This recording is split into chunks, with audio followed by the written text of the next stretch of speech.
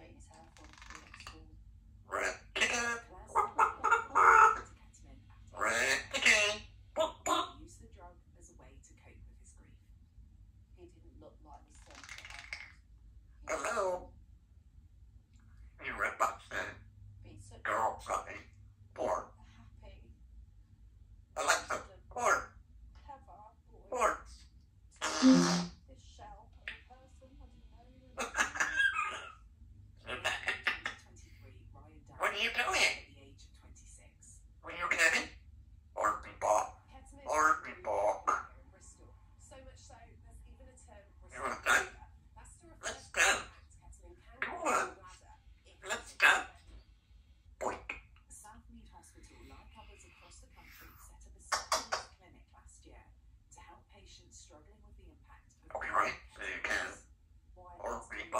The drug of choice. It's cheap to buy. Um, I think people don't realise that it has detrimental effects to the bladder, and I think it's viewed as sort of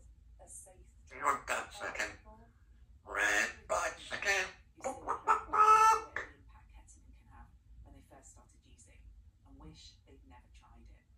I'm hoping that I'll right. get back into Ready?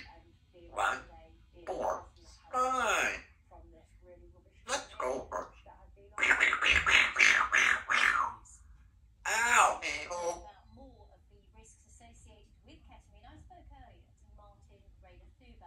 From the UN Office on Drugs and Crime. What we see recently is an increase in trafficking of